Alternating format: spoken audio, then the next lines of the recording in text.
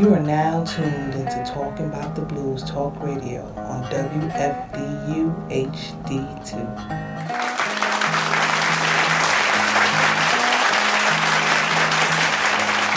First name was Jimmy Charles Holmes, of course. Some way upon my fashion, they replayed the Jimmy Charles Holmes with Jimmy Duck Holmes, which is my blues alien.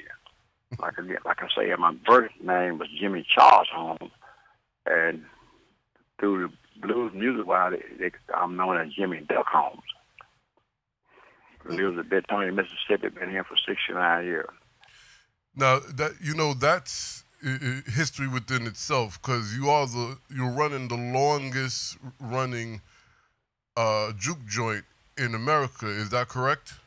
Yep, that's yeah, right, exactly. Uh, my parents started in 1948, and I came on board July 1st, 1970. Mm. You you compile those two days together, and you come up with a long history. Absolutely, absolutely. Now you, you're coming out of Bentonia, Mississippi, and Bentonia is a specific region and style of the blues. It, it has a unique style of being separate. Now I didn't know this. I just happened to pick it up from some guys that started doing it back in the early 1900s, and it, it's it's uh, it's contributed I to a guy called uh, Henry Stuckey who really started it, and it's known worldwide as the Bentonia style of blues. Of course, now we know you got a lot of blues. You got the Delta blues, you got Chicago blues, you got hill country. But for some reason or another, the, the Bentonia style sets out to itself like it's, a soul thumb. And I don't ask me the reason why, I don't know. But it, it is unique to any other blues in the world. Mm. And they say, I mean, the professional who do a lot of research on it says it's the way the guitar is tuned. Now, I don't read music, but I know how to tune it to that particular style.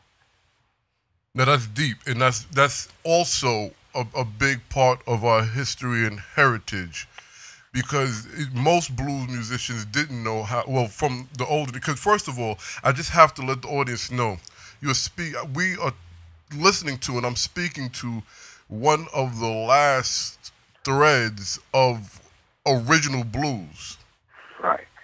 Now, like again, the people who study it, and they, they, I mean, they research and study, study, study. It, not say it is the only, but they say it, it is an art form.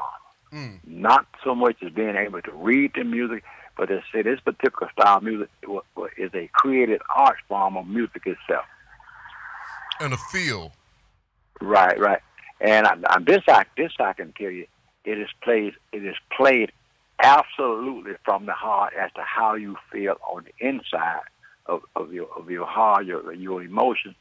And it's not the type blues that you play just what they call it abstract. It's, it's played with a emotional feeling. Mm. And that and I mean, I, me myself, you know, it's not scale because we all know music is based on a scale four, eight, twelve, whatever, twelve bar the Bentonia style is not scale; it's played absolutely from the way an individual feels. Mm. Now that that's information that most people do not know because most people, especially in today's climate of the blues, is really trying to keep to the one four, the one five, or or twelve bar. But Bentonia is totally opposite that. It's, so that's actually the most original or should I say, the most closest to the original form of our music once we hit this country, correct? Right. You're right. Now, uh, even with the old gospel, the old Cottonfield, the gospel singing, they, they sung out of depression and stuff like that. Blues, in part, a little bit of depression, but not mostly blues, in particular style, style of blues I played. I love this from the guy. It was about relationships Mm. Sometimes we would, we, we would kind of sing or play about a hard day's work, but mo- most of this stuff was done by a bad relationship or a good relationship with a woman. Mm. That's the blues. The Bentonia style now is pretty much at least 90% of, of the Bentonia style of blues was played about either a good relationship with a woman or a bad relationship with one, or a good experience if you had across a week or a bad experience. Were you able to meet uh, Skip James and um, Henry Stuckey? Okay, now Henry Stuckey, who was the who was the who was the founder of, of that particular style, he was the first one that introduced me to a good. I was ten years old, but I really learned most of I know from a guy called Jack Owens, who was pretty much around the same age as Skip James. He never the lead this particular community, but Skip left. Mm. When I was was old enough or big enough, you kind of he was already gone. So now let me ask you about your latest album before we go into anything else. It is what it is. I play it on my radio show all the time. Okay. I'm a first and foremost, I'm a big fan, and I'm also studying right from you. Mhm. that is, you know, I speak to Michael all the time about you. Uh, I've been trying to meet you for some time. I, I want to know if you don't mind where you were at when you came up with pencil and paper, because that's some hard blues. Uh, if you, I don't know how old you are, but at one particular time in the black community, especially where, I'm, where I was born and raised, it was no telephone. So no way of communicating other than by pencil and paper. Mm. No way. And once you got the address at the way your, your your wife or your friend had left and went to, only way you gonna communicate is by pencil and paper. Then, believe me or not, hey, a lot of households didn't have pencil and paper. Mm. Now, I'm not talking about uh, what I've heard. This I, I lived. Absolutely. This I lived, you know. Didn't have a pencil nor paper. Wow. So it wasn't like you could go in the study room and get you a note, a notepad, or sheet of notebook paper, or a sheet of loose, loose leaf paper. It wasn't there. Mm. And you would be fortunate or lucky enough if you know what your girlfriend, your wife had ran off to address-wise that you could write and communicate with her. That's real. I hope Mhm. y'all are paying attention. Now, also, uh, "Slow Down," which is a great, great tune, and I, I hear, I, I like the fact that there's a train at the end of that. Do you, do you want to Yeah. tell the story of that? Well, slow down. A lot of people don't get the essence of it. They think you're talking about slow down, moving wise or mobility wise. No, no, that's what not what I'm talking about. It's your life. You're you're doing things. I mean, too suddenly. You out getting drunk or you out running around a whole lot. You ain't. You're not listening. This sound ain't fine. Can't nobody tell you nothing. It not. It don't mean slow down like vehicle wise. It means slow down in your lifestyle. You kind of do too much. Something gonna happen to you Mm. when I said traveling too fast, it don't mean you're traveling too fast feet wise. It means you're traveling too fast life wise, running from one extreme to the other. No, see that that's deep and that's real, and that comes Yeah. from the heart. You know, which makes me want to ask you, because again, you you are one of the very few, one of two or maybe three last remaining threads of real traditional blues. So blues lyrically, would you say blues is poetry? Uh, not abstract poetry. Blues is poetry based on a living experience that you have that you have experienced or you know someone that did. Now I don't I don't just just do lyric based on just doing it. Either the lyric I do either I have experienced or I know someone who did. Mm. So it's life to the And- paper. yeah, and the guy that I that I was mentored about, these guys, I mean, they, they told life story with some good guitar music. They didn't just start singing, and uh, I mean, and I tell a lot of the young guys who who, who want to try to do music, why I say it's good to be able to do a a style similar to different artists, but no one will never be a BB King. He's dead and gone. Mm. No one will be, never be a Robert Johnson. I don't care how much people say, well, he play like Robert Johnson. No, he don't. Mm. I played a bit on his style of music, but not like Henry Stuckey and not like Skip James. Dig it. No, no, it, it would never happen. Albert King dead and gone. I don't, I don't care how much people say he play like Albert King. No, he don't. No, I don't. He might play the same style of tuning because those guys, uh, if they did 50 concerts, they never played the guitar the same. It might have sounded the same, but trust me, it was never the same. And that's what the blues is. That's what the blues is. Because you wake up every day with a different experience. Mm. Every day. It don't mean it's a bad experience, but every day you wake up, if you're a blues music, uh, blues artist, you can sing something different every day. Because you live in something different. You feeling something different. Every day. every day, every every day. Mm, I hope y'all taking notes. and I was up at Port Townsend, Washington, doing some workshop about three weeks ago. Uh, we're doing two classes, 11 a.m. and, and 3 p.m. And some of my students was a great musician, great, could read music and everything. And this one t- particular student came in about 10 minutes in, into the session. Me and the other guy was playing because they had been there a couple of so days to the workshop. And she's and she raised her hand, so we stopped. She kept saying timing. I'm thinking she's talking about the timing of their uh, time for the. And so we started back to playing. And she raised her hand again and said, What about the timing? Then one of the students, when I said student, they wasn't young, but they were fifth or years old. Then he, he asked her, what, what, what you mean about timing? When are you going to change? Then he told us that this is old school blues. Ain't no such thing as timing. Your heart is the timing. Mm. When your heart tell you to change, that's when you change. Mm.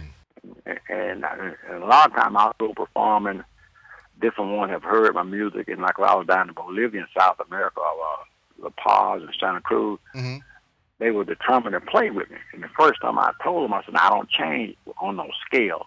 They knew that. I said, if you want to play, you're perfectly welcome. I said, but if I happen to lose you on stage, don't stumble trying to find me. You back off and go through the motion. Keep your ears open. Mm. And when you feel me, you get back in there. I dig it. I dig it. Now, now that's the blue. I hope y'all really paying attention because this, this is coming direct from the source, a living legend. You know, let's talk about your Bentonia Blues Festival at the Blue Front because that's also considered the longest running blues festival at a legitimate juke joint. In, in the state of Mississippi, oldest running the outside blues up in the state of Mississippi. Mm. And right now, really don't have a lot of, I don't have no corporate sponsors. I'll have people donate $100, $200. And the reason that I, I try to keep it that way, I want to be able to call the shots. Understood. When you start getting corporate sponsors, they I mean, not, they don't want to control it, but they, well, in turn, they got to call a shot because, you know, it's a tax write-off. Right. And, and, you know, I, I mean, I appreciate every dollar I can get to help me with it, but if it comes to the point where your dollar got to entail me doing what you say do, then that, that won't happen. Right. Right. That, that, will not, that, that, that, that, that won't happen. No, I, I dig it. I dig it. And you run you run the Blue Front right now, correct? Yeah, as of July 1st, this past July 1st, 46 years. Wow. Open every day, seven days a week. Now, I might not stay there all day, but I bust the key and lock on that door every day, Mm. seven days a week. That's the blues. So now, when did Blues Front Records start? How did this come about? We started a year before last. Well, after Blue Front itself, cafe itself started getting so much attention, and, and the music I was doing, and people wanted to come by there and, and be identified, or maybe do a couple of recordings at the Blue Front. And the guy that helps me, Michael, said he that he couldn't think of nothing no better than to start a label. Not it's, it's not a big thing. Let's start a label, and it's called Blue Front Records, and it took off like wildfire. Mm, it sure did. Because uh, uh, a fellow bluesman out here in New York uh, recorded with you guys recently, right? Tito Deler. Right, right, right, right, exactly, eh, right, exactly. Uh, I want to say back in June, the week coming up to the festival, right? Now, you've been to New York on several occasions. Yeah, I'll be working the East Coast sometime. Well, I know I'll be up in Boston on the 11th. Uh, I'm going to work my way back through Connecticut, my manager Michael in the process of trying to get something scheduled on my way back uh, in, in New York. Now, I, I, I played Long Island University, not self-wise, not party-wise, but from an education standpoint, Long Island University. I did something at the Apollo, and I was scheduled to do something at Paris Blues. I'm scheduled to, I, either, either next month or month after the BB King, whatever it is in Manhattan. But most of my stuff, even though it might be at a club, but the stuff I normally do, is it's education from an education standpoint and trying to enlighten people that what that what they'll listen to spun off what I do. Mm. That's the truth. that's the truth. Now, I don't, I don't, I don't, I don't brag. I don't brag. I, I thank God I was blessed to come up, come up around some guys who were mentored by some guys who flat could do it. I don't brag. I dig it, and you should be celebrated right now. I, I don't brag and I don't boast. I thank God I was blessed enough to got something to offer to the world that originated out of America and that belongs to America. Right, given to America by our people. Yeah, as a matter of fact, the State Department was the one that sent me down to South America, down, down to Bolivia to the two places, Santa Cruz and La Paz. The State Department did that. The ambassador, uh, uh, Bolivia, Mm. one that, the one that made that work. So, how was that experience? How did they receive that piece of American history that you were presenting? Oh man, they, they they knew more about me than I knew about myself. Most of them couldn't speak, couldn't speak couldn't speak no English, but they they they, they knew that music. Wow. Matter of fact, Michael in the process, because they they recorded some of the sessions that I did, hmm and it's gonna be released on the Blue Front record. Nice, nice. Now, your album is out being sold from Blue Front Record. How can people get to the album? Well, now I'm technically illiterate. All I can do is answer phone and make a call. But now Michael told me whatever they're wanting to do with that, anything related to Jimmy Duck Holmes or the Blue Front Cafe, he said all they have to do is go in the, go on the internet and type in Jimmy Duck Holmes or Blue Front Cafe, whatever they're looking for. It's going, it's, it's a connection now. Okay. Okay, so look them up on the internet. Go to the website, because there is a website. Well, well, it says a, it's a Blue Front Cafe website, Bentonia, Mississippi, and it's a Jimmy Duck Holmes Blue Front website, and it's all the links are there. Okay, groovy, groovy. Now, you've been playing with a specific guitar for a while. Uh, the Epiphone. Right? Talk, talk to us about about your connection with this guitar. It's, it's, it's sort of a mystery. I don't know where I was. I tried to pinpoint out back to St. Louis. I was somewhere playing, and I had a whole. It was an acoustic guitar, but it was more or less had a country and western guitar appearance. And undoubtedly, it was a it was an Epiphone representative or whoever. I undoubtedly the type music I was playing. Then then then I uh, then kind of go inside with the particular guitar. And lo and behold, one day I looked up, a FedEx truck pulled up, pulled up and say, "Well, look at Jimmy Duck Holmes." I knew I hadn't ordered anything. Out come this guitar, and I kind of started questioning. And they said they, they, I needed a guitar that looked at blues authentic and sound blues authentic. And lo and behold, it looked just the occasion and sounds the occasion. Mm. Now, who responsible for getting me that guitar? I do not know. I do not know, but I know it was it was built by Epiphone. They said it was hand built to make it look authentic. Oh, I mean, back days wise and sound authentic. And like I was saying, and I get questioned every time I get on stage. And the first note I run when I get off stage, they say, "Where that guitar come from?" I Wow. say, "Epiphone." that's how you Well, that's it. all I know, man. That's all I know. Now I know it sounds different.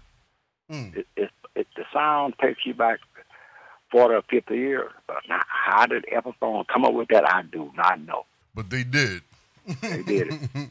I want to connect something here. You said earlier, it's not about scales, it's about the feel. It's not about time, it's about the feel. And you just said when you got that Epiphone, you you pretty much felt that that that it was right, it was connected.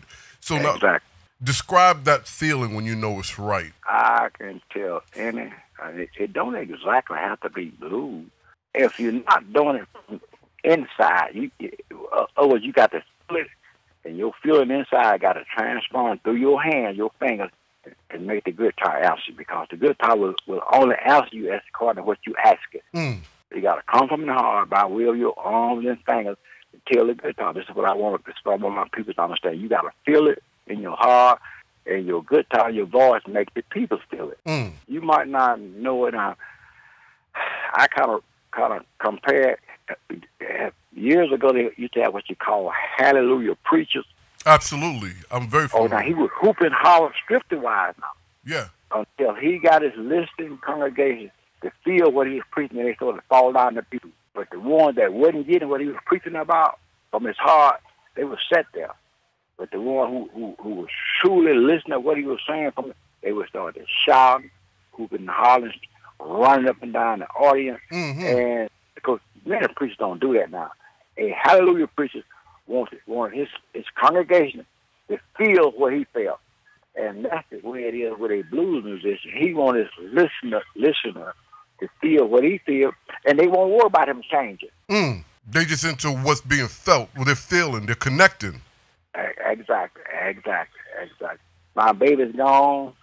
I'll soon be gone myself. My baby's gone, and if I can't have her, I don't want nobody else. Now, somebody I think can identify with that. Absolutely. my baby's gone. I'll soon be gone myself. If I can't have my baby back, I don't want nobody else. Now, somebody that would be listening to me saying they can identify with that. That's right. That's right. Because it's real. It's a real emotion. That's what I'm saying. And I'm happy you brought this up.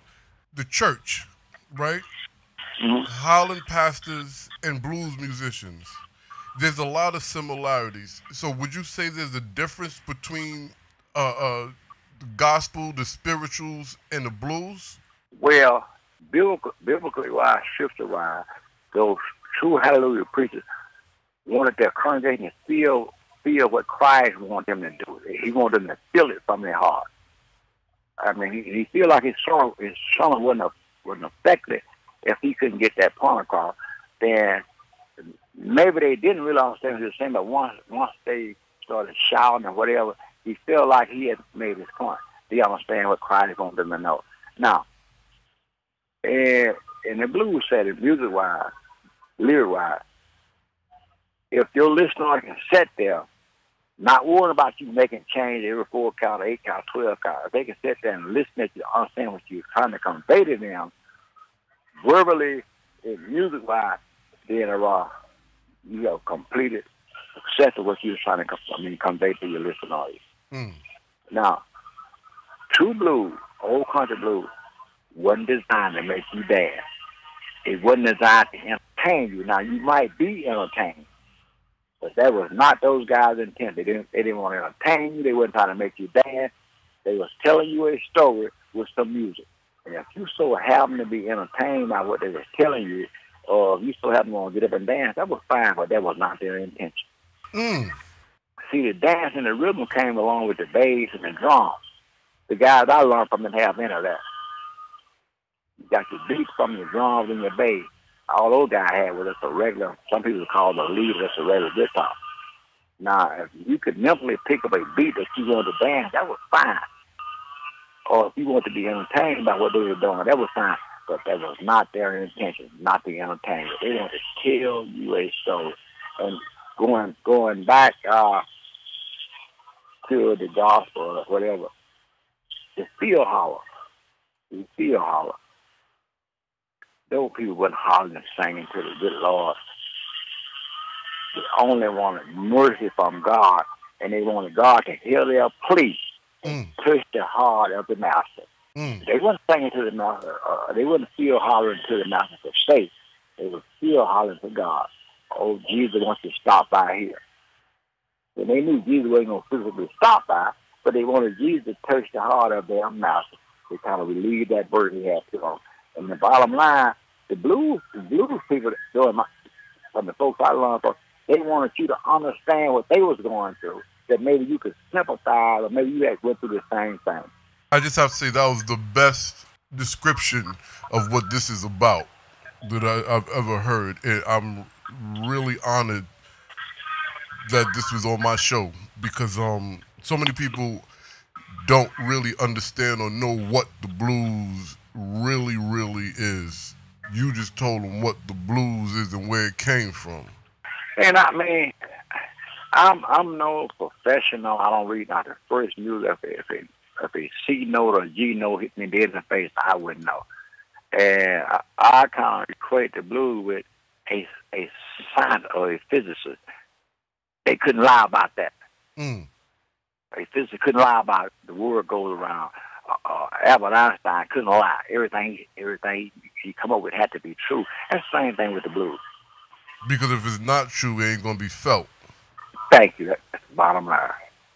That's the bottom line. Wow. So let me, if you could remember, if you could remember, because you said you you started learning at nine. Do you remember the first blues, uh, Bentonia blues song you heard? Yeah, but uh, it was a couple of them. I can't say which one came first. It was one in particular. and I don't know who actually really was the first one did, and it's still popular right now. It's one called Hard Time Killing Floor, and some people call it Hard Time Breathing Flow. Then there's another one called uh, the Devil Blues. You know, song called "Devil Got My Woman," or it had to be the Devil. But those those were the first two songs that I heard directly related to the Bentonia style of blues let's go back to the juke joint because the juke joint plays a big role in the blues. Uh-huh. And a lot of people love to talk about juke joints because historically it you know is very important but i don't think most people really know what was happening in these places could you share well, some it, stories it was a, and it, it, it has been a misconcept even with the professional they'll say juke joint, juke house, but it was it was a hundred percent different. A juke joint was licensed because a lot of illegal stuff went on, but a juke joint was licensed. A juke joint was someone's dwelling place where they had set aside one particular area of that particular house to have parties. A hmm. juke joint was licensed, but like I say, a lot of illegal activities, activities like gambling, selling moonshine. A juke house was actually someone's dwelling place where they set aside one room or the backyard to have out out hours parties and stuff like that. And, and most juke houses on someone's plantation. And the law officials couldn't come unless they went by the plantation owner. Mm. But now, like I said, the, the juke joints were licensed by the state. They had bill license, not no liquor license, They had bill license. So they could, they, oh, well, they could retail stuff. But a juke house, if someone decides they want to have five or ten people over here Friday, Saturday, Sunday to sell some moonshine or what have you illegally. Because now the officials wasn't going to bother because they had to go through that plantation owner. And like I said, it was a dwelling place. And like the Blue Front incident, it was a juke joint licensed in the United States. We didn't live there. We had a little house about two or three miles up the road. And like I say, at the Blue Front, yeah, some of the grace came through playing for, for the nickel in the hat. Mm. People like Muddy Waters, Howling Wolf, not on a schedule basis now, not on a schedule basis. They would drop by on Saturday afternoon. Most of most of them work until dark on Friday. We jump by, drop by either late Friday night or Saturday afternoon. Cause in the rural area, farming wise, you were gonna work until Saturday to noon, and from from Saturday to noon to Monday morning, you were pretty much free to roam. And what we're having those guys, uh, like like again, like I said, Muddy Waters, Howling Wolf, uh, Fun but we not just the Blue Front now, they would hit a lot of juke joints and place the tips. Mm. And I, I'm not saying it didn't happen, but I don't know no juke houses that had that particular activity because most of your juke houses didn't really start thriving until your legal juke joints closed up. It's around 10, 10.30 on weekends and people leave leave the juke joints with the bicycle. They was they was patrolled by policemen. Juke houses wasn't. So once the juke joint closed, and a lot of the patients went on to the juke house because they could go all night long. So your parents were sharecroppers. Yep, yep, yep. Even even though even though my dad and I acquired a little small piece of land, and we call it sharecropping because they would always borrow money from the big wealthy white farmers to produce their crop, and in turn, they would have, when they said sharecropping, they had to share part of what they produced, a third or fourth or a half. They call that sharecropping. Wow. You probably didn't pay. You didn't pay them by really in cash. You had to you had to share part of your producing, and it was more or less done on a third. If it was you was talking about cotton, if you gather three bales of cotton, one of those bales went to the man who financed your particular year farm. They call that sharecropping. You are getting history right now, guys. A lot of people don't really understand what that what that means today. No, it, it just it was whatever. If if you had a wealthy uh, man that was able to finance your farming, you he wouldn't expect you to pay him back in cash because it, in turn it's going to eventually turn to cash. Like I said, if, if you if you raise say three bushels of corn, you owe them one bushel. Mm. And he was going to turn around and sell and turn it into cash, but that's what they call a share crop. You, you owe him a share of whatever you produce. That's that's deep. That's history. That's banking. That's the banking system. Wow. Mm-hmm. Wow. Now, did you work on the farm as a young man? No, most of my farm was did to my my my parents. So we raised a little everything. We raised raised livestock. We was fed us and a lot of your guys was fed and stuff like that. But didn't really have time to do working what they call day labor for any of the farmers because, like I said, we produce most of our own food. Oh wow. Mm. Wow. Do you to this day do you still grow food or no? Not to that extent because, like I say, everybody now they ain't got time to sit up and shell them butter beans or peas and put them in a pot and let them cook for three or four hours. People nowadays they want to go to the market and get it. All you got to do is stick it in the microwave and it's ready. Right. Nah. Do you think the quality of food? I believe so, but do you think the quality of food was better when people took that time uh, compared to now? Yeah, because it wasn't no attitude. If you get it, if you getting it out of the market, it got something in it. I, I don't care if it's produce; it got to spread so it don't wither in the in, in the cooler. Mm. If you're not going out in the garden getting it off the vine or the stalk yourself in it, it got some chemical additive to it. Is it healthy? I don't know. Mm, but it got something. It got something in it. You just dropped the album. You got a couple of um, you have a couple of you got a tour and some shows coming up in different uh, regions of the uh, of the states. Well, I got the I got the Delta Blues That's on the seventeenth. Uh, I'll be in Boston, Massachusetts. On, on the 11th, I'll be in New Orleans on the 15th. Well, I got a, I think, and who else, who knows what might jump off. But those are stuff we got on schedule. And like I said, now, it's educational. Mm-hmm. Mm-hmm. If I do something in a club, it's not for the sake of making people part out. do something in a club where I'm going to do a workshop to explain to people that's what I do and why I do it. And what it's about. Exactly. Now I do stuff in club, but it's not it's not say from a club atmosphere where you're coming in and get drunk and dance and cut up like a knot. Hmm. And when they when they schedule something in the club, they tr- they try their best to show the relationship between what I do and the actually club party. Mm. So in, let me let me ask you this: Are you showing people that the blues isn't just relationship to liquor and bad behavior? Exactly, exactly. And I tell a lot of the young musicians, Eh, especially when I visit the university in the music department, the guys that are inspiring, that want to do hip hop or R and B or jazz, and they say, "Well, I don't play blues." I said, "Well, you don't play no guitar." because you can't you can't play nothing on a guitar unless you go on some blue licks and you might not be aware of it. That's right. When they say when they say I don't play blues, well you don't play no guitar, you don't play no piano. Any string any string instrument, you can't play it unless you run blues. No, not you don't even know it, you're not even aware of it. Mm. Blues is the basic. You can't do no gospel without it running blues because you can't do no blues on string instruments without doing gospel music wise. That's right. That's right. I mean, I I just be I be honest about it. You you can't play gospel on a piano or a guitar unless you do blues lick. You can't play blues unless you do gospel lick. I agree. It's one and the same. Yes, exactly. I don't like talking about this too much anymore, but I, I have to bring this to the forefront because it's very important for young people and adults to understand the history of this music.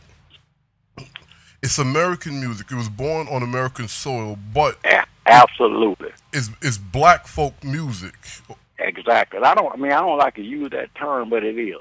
Okay. It, it, it's black folk music by way of America. America can can claim ownership of it because it originated out of America by way of the black society of the hmm. black community. That, that, you mean you can't change. Black folks did it in America, so you can't change. You can't separate it. Right, right. You, you, you, you can't separate it. And that's the truth. That's just the truth. That's the that's the plain truth. So I, I would take it you agree this should be a, a history course in school. Well, unless our black professionals get out of that thing about don't be identi- don't want to be identified with blue. You you you can't you you can't do that. Mm. because blues is a part of the black culture. So from from even me to say that no, I don't know, you can't get around it because it's part of the black culture. We did it. We did it. And I don't make no big issue out of it. And my thing is, people do it because they don't understand. Okay. I had a I had an experience a few years ago up at Clarksdale Delta uh, Sunflower River Blues Festival. They had this big stage set aside for Robert Plant, who played with Led Zeppelin or somebody. Mm-hmm. And some of the old timers, black guys, some of the old timers, the foundation of it, wasn't allowed to get on that stage. Wow. And I pissed a bitch. I said, I if these, I know, I told him on the microphone, I hadn't if these guys wouldn't be no damn fella, just like, excuse my language now. I, but now, these guys cannot get on the stage. And they are old enough for, for Robert Plant's dad. But all of a sudden, here you got a stage at a blues festival. These guys started it all, but they can't get on the stage. That's crazy. And I ain't been booked back. I hadn't been booked back at that festival since. But God knows, do I care? No. Understood. When I drove up, they got these guys, uh, LC Arm, uh, there was three of the guys, 70, 80 years old, who weathered the storm years ago for for the for the new day uh, blues musician. But now they got this big big faster stage. These guys couldn't get on it. Hey, That's a smack in the face. To me, but believe me, partner, believe me, if I didn't, I, I, they wouldn't let me get on the stage, but I stood down on the ground, I wrecked them. Hmm. And they, they said Robert Plant and he didn't know. He was mad about that, but they hadn't booked me back since. But it's- uh, it was embarrassing. To them, You had, you had Eddie Cusic, you had Robert Bell, these old guys, early 80s, late 70s, couldn't get on the stage. and with, And without those guys, there wouldn't be no such thing as a blues festival. Well, see, you know, and, and that's that's why even though I don't always like to bring it up, it this has to be discussed because there, there, there's no possible. How can you have a blues festival without real blues musicians? That They do, they do it all the time. And everywhere I go, but I, I address that. You, you want to label it as a blues festival, but then it's everything but that. mm, The name blues festival gets the crowd, but then you got. I'm not saying that they have Chicago blues or uh, uh, but they don't have the original blues. right, You the know, a lot of foundation, people Uh, the foundation. exactly. But anyway, it's it's just one man opinion, mine. No, I dig it. I dig it. I dig it. I dig. How, how do you feel about the climate of the the music, not just the festivals, but the the, the music? Because there's a lot of music that's labeled blues, but it's actually not. uh, the the people who really really know it, uh, they ap- appreciate two hundred percent what I'm what I do because I'm trying my best to preserve it. If it don't get preserved, and it ain't because Jimmy Duck home didn't try. Mm. I mean, and when I do, when I go do concert, not when I when I go do workshop or festival or concert, and especially if it wasn't on, if they don't cover chart, I, first thing I tell them, if you come to hear anything other than country blues, you're at the wrong stage. I dig it. that's all I got to offer you. I said, I, that's my thing. I said, if you come to hear anything but old country blues, I'm gonna give you five or ten minutes to find another place to go because all, all I'm gonna give you. And I said, if you come for me to make you dance, I ain't gonna do that. I know what I can do. I can play this guitar and tell you a story, and they always go, wow. but I mean, I'm, I, it, it sounds like a joke, but I'm being honest. If, if you come to one of my concerts, if you come there for me to make you dance or uh, you want whatever, I can't do that. Mm. Well, I take that back. That's not my intention. I dig it. I dig it. I really dig it. I it's been a true honor to be able to sit down and discuss the talk the blues with you. And that, my, the last CD I released, and I want you to think about this. I don't care what you have done today, yesterday, last year for last. It is what it is. That's right. Y'all make sure y'all get out and get that CD. It is what it is. It's on Spotify. Uh, I believe it's on iTunes too, right? Exactly. And uh, and- my thing, where I come up with that, I don't care what the circumstances is, whether it's positive or negative.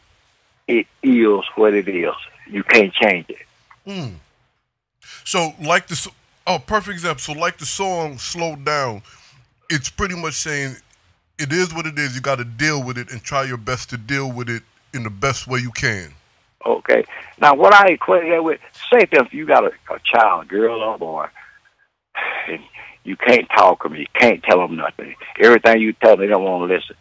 And like I was saying earlier, it's not me they're traveling too fast, feet wide. It's just they're doing too many things and running from one extreme to the other. And, and I used to tell my son, son, slow down and come to yourself. That's why I come up with that title from Slow Down, Slow Down. Mm. You're traveling too fast. Slow down, slow down, or you ain't gonna last. It don't mean you're running on your on your feet. It don't mean that. It just means you you're doing trying to do too many things in life at one time. But anyway, I could I could preach it all afternoon. Now you, you should ask my manager you call me on interview. I don't lie. No, I don't lie. Well, because the blues don't lie, so you can't. I don't lie now. I, I, the old folks say I shoot straight from the hip. That's right. That's right. That's right. And matter of fact, that's that's an old school term. My granddaddy and grandmama used to say that because um, they're from Gloster, Mississippi, and they used to always say, "You better come back to yourself, boy. You better come to yourself." And my daddy used to tell me all the time, "You look a person direct in the eye." and tell them the truth. He might not remember your name, but he's gonna remember you. Mm. So look him direct in the face. Look him direct in the face and speak the truth. Mm. They might not never remember your name, but they will, will not forget your face or will not forget what you told them. And they'll respect it. They respect it. You might not like it. exactly. But anyway, I hope I've been of some help to you. Oh man, you've been great. A help to me, a help to the Talking About the Blues community because this is what this platform is about. And we really appreciate your time. And by the way, we are talking, and you're at the Blue Front Cafe right now, correct? Exactly. So you see that you hear this, guys, right? So we, we we're actually having this interview, and he's and a legendary bluesman is standing in his legendary and historical establishment. Pay attention because you're getting some, you're going to learn them blues because we're going to mm-hmm. teach it. Thank you, sir, very much for your time. Oh, okay, no problem.